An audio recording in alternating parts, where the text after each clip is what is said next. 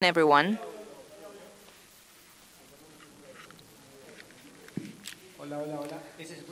Can you hear me fine? Uh, can you hear me with this microphone? Okay. Good afternoon, everyone. We have finished. We have finished the meeting of the finance track of finance ministers and treasury ministers and central bank governors. We think it has been a great meeting where we ratify the importance of G20 as a mechanism to coordinate policies at global level. We have President Macri among us at, by the end of the meeting, who has uh, made a few closing remarks. This meeting, this G20 meeting, finds us, Argentinians, with an intense agenda of domestic reforms, reforms that have made Argentina preside G20 only two years after being in a default situation. And now it finds the members of G20 and the G20 per se, after 10 years of uh, deep financial crisis, and it would have been much deeper if it hadn't been for the G20 presence. And we think that the working of this group is key to coordinate certain policies at international levels. At this meeting, we have reasserted the importance of international trade as a key factor for the growth, the production, innovation, and the cre employment creation. And we ratified that we have to continue, continue having dialogues to continue consensus. So it's a very clear message and a determinant message in terms of the benefits of international trade.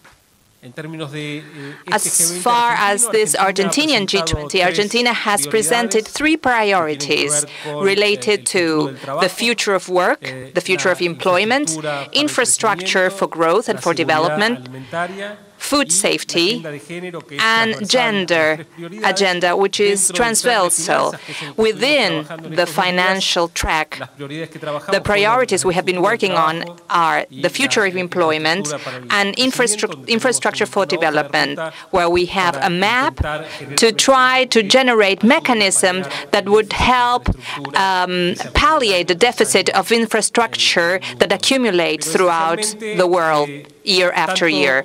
But the future of work that is also um, related to a menu of options that we're going to work on the finance um, ministerial meeting in July.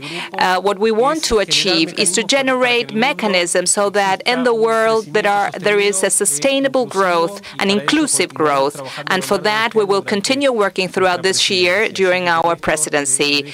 So with that, I will will give the floor to Federico for his comments. Thank you, Nicolas. I ratified what Nicolas says, and I would like to emphasize that the level of discussion was very, very intense, very high. It was surprisingly so, and we had a very rich debate to work on different areas. Let me focus on two central aspects we have worked on very strongly in different sessions. One was, of course, what Nicolas said, the question of international trade. That was essential. There was a lot of tension. The focus was very constructed of all participants involved in this understanding that trade is good for all countries, and we have to deepen that in a way that is a win-win situation for all. As you know, the world has reached this presidency with um, growth um, process. World economy has reached a 4% growth that was prior to the financial crisis.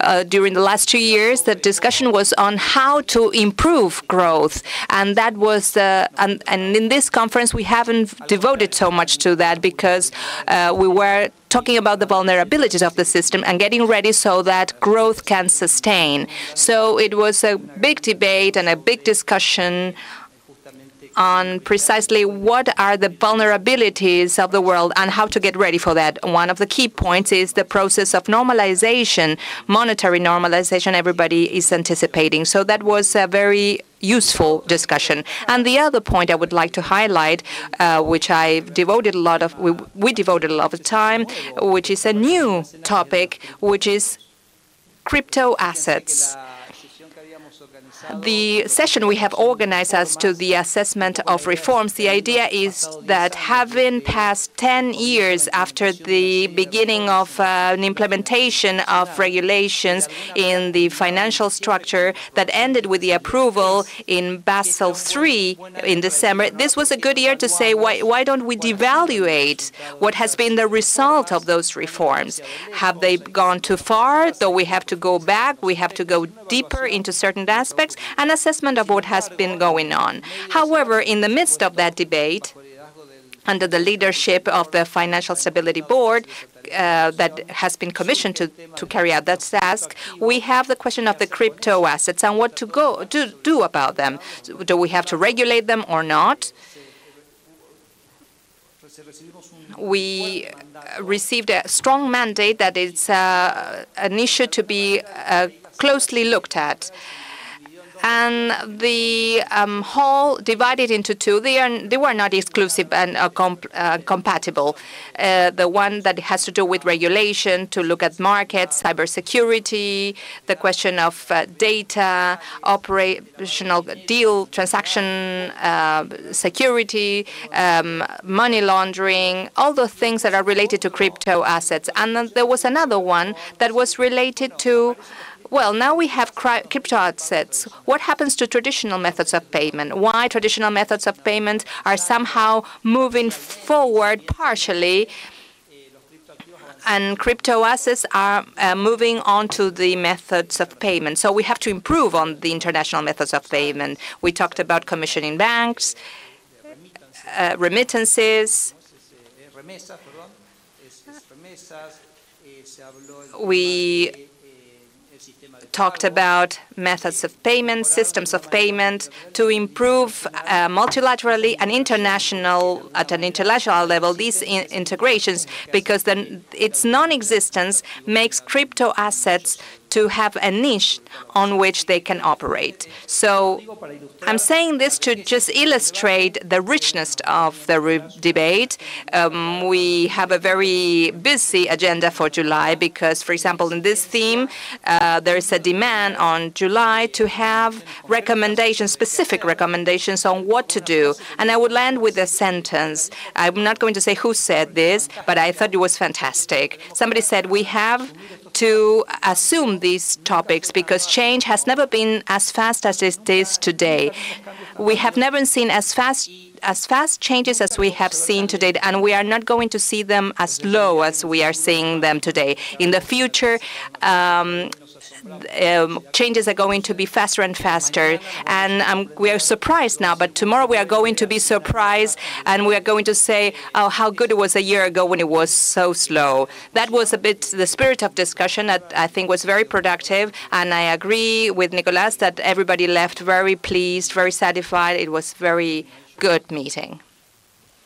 Let's begin with the questions now.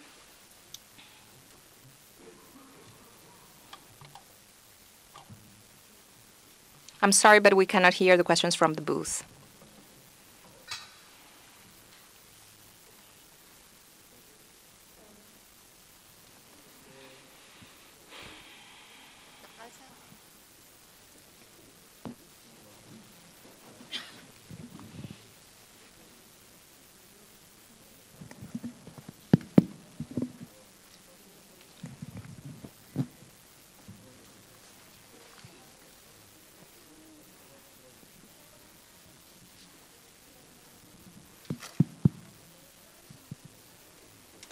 The communique does not mention multilateralism. Is there a reference to protectionism? I'm sorry, but it's not audible from the booth.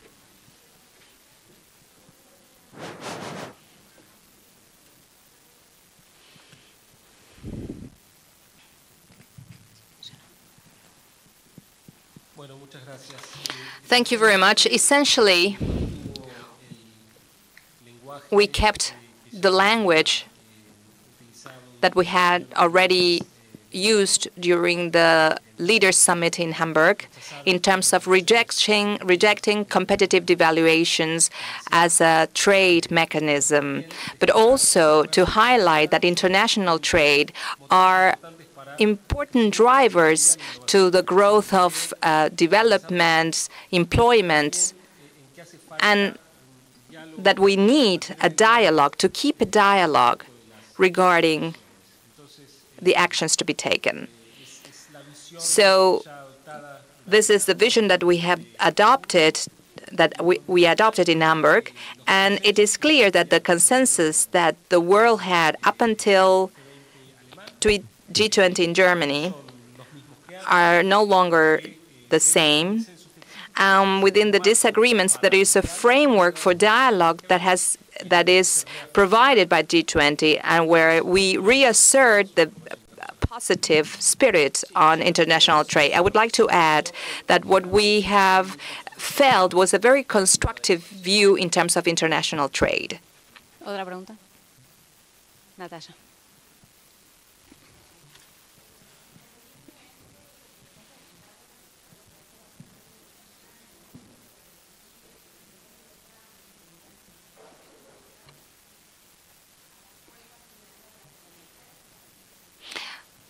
There is a looming trade war due to Trump's protectionist policies.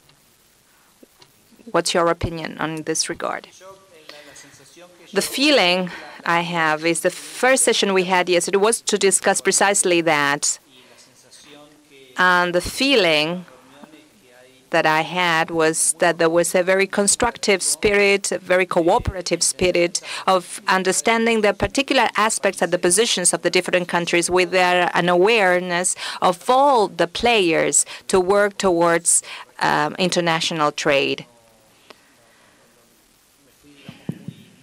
So I, I feel very much at ease that uh, that constructive and coordinated spirit is prevalent in the agenda. And President Macri uh, reviewed all the changes Argentina has had, the will of Argentina to reintegrate in the world, the relevance of G20 as a fora to solve problems, as a forum to solve problems, and the role of Argentina of an honest mediator, as he said, in inter at international debates. And I think this is the way uh, we have tackled it. He also said that we took this presidency with a lot of humbleness.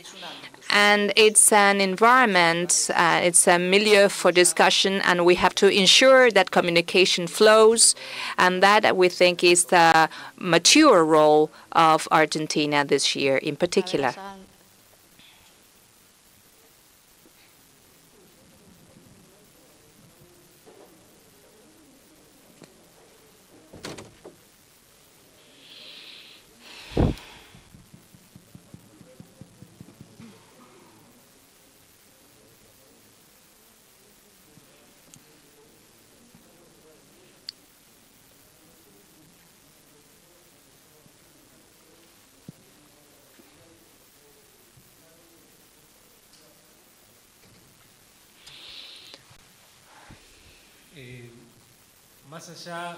Regardless of the conversations of G20, Argentina reasserts its commitment with multilateralism and with trade based on rules and to the adherence to OMC of the World Trade Organization's regulations. We have not um, talked about any additional mechanism. We have uh, reiterated the uh, Treasury Min Secretary of the United States to revise the inclusion of Argentina within the um, a tariff on steel and aluminum to put it on at zero. So we are expecting a resolution from the United States in a future that it doesn't have to be near future, but we have reasserted that request.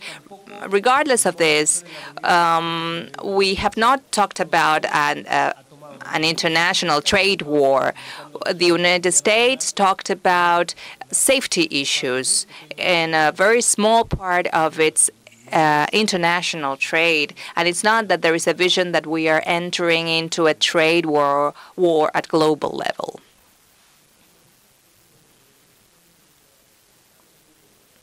I'm sorry, but questions are not audible from the booth.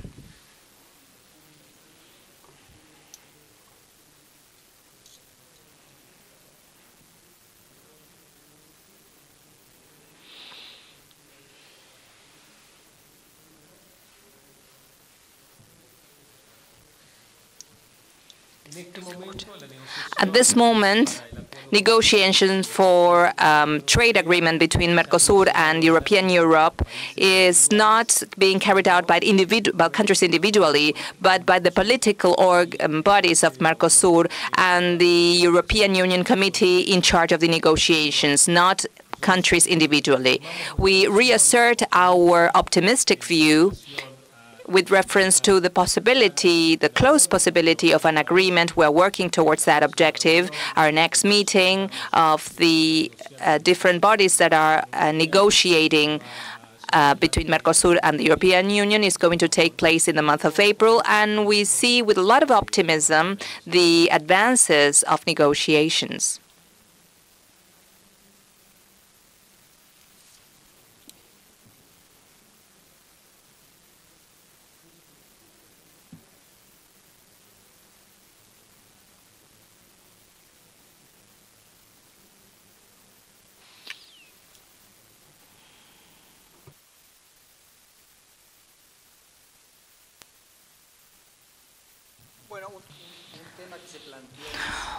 One topic we talked about was uh, trade, uh, service trade. That was an agenda that was somehow lagging behind regarding, with reference to the other discussions on commerce. And what we expect from the rest of the presidency is to have a commitment of the G, G20, an ongoing commitment with trade as an instrument for progress integra and integration with the world. And Argentina's objective is going to be that because uh, that's our commitment and that's part of the spirit that comes from the meetings. Fernanda.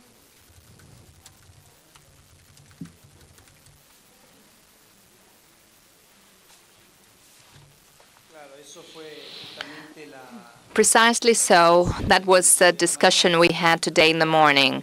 And we there was a discussion regarding of crypto assets or cryptocurrencies. We talk about cryptocurrencies in Argentina, but it's very strong to speak about crypto assets because they highlighted because none of these uh, assets do not play the role of a currency. We included an innovation uh, that was a survey we carried out, anonymous polls at the beginning of the meetings. The, basically, was this a point to be tackled, to be focused on? Is this focused on multilateralism, basically the regulation or the supervision of crypto assets? And it was very strong, the support they have to be um, added in multilateral issues.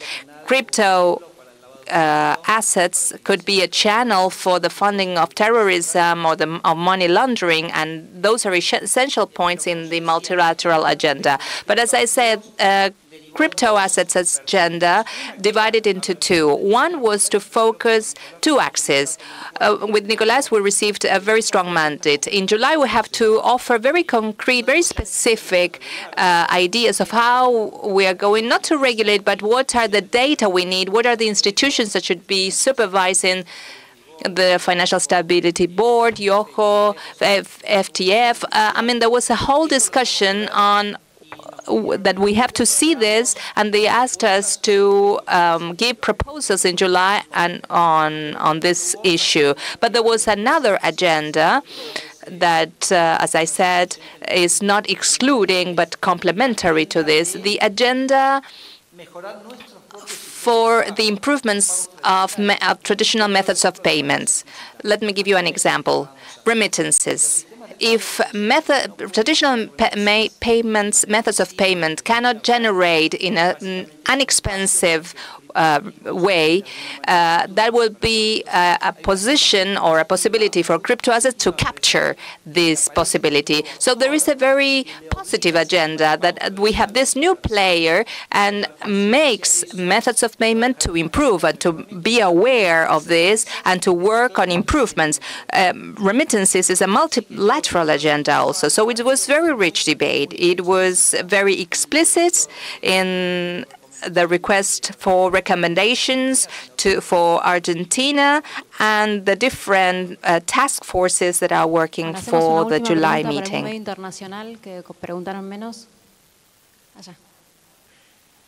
Internacional.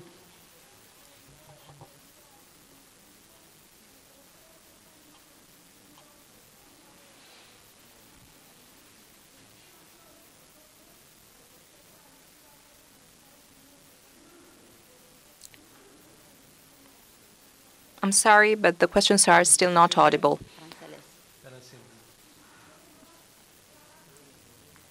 Imposition of custom tariffs. I would say the discussion was much broader. We have not talked about tariffs on steel and aluminum. What we reasserted at G20 is the positive view on international trade to create employment, work, producti productivity. But we have not discussed specific measures. But just like we were able to have this positive view on trade, we also were able to come to a consensus on the need for the G20 to continue moving forward to generate the new ways to impose on to tax on digital economy that could be um, uh, a terrain for controversies. You know that there is uh, a vacuum there with the emergence of new, uh, the emergence of new companies that produce in the cloud, they generate value in different countries, and now that has a vacuum in terms of how to levy taxes on those activities. So we were able to work with a preliminary report from the um, OECD, OECD, and that's the way G20 works, to try to come to an agreement, to, uh, to arrive to consensus. It's not we're going to produce regulations, but to come to an agreement, to different agreements, and that brings about um, for different bodies to generate the necessary regulations, bodies that work jointly with G20. Well, thank you very much.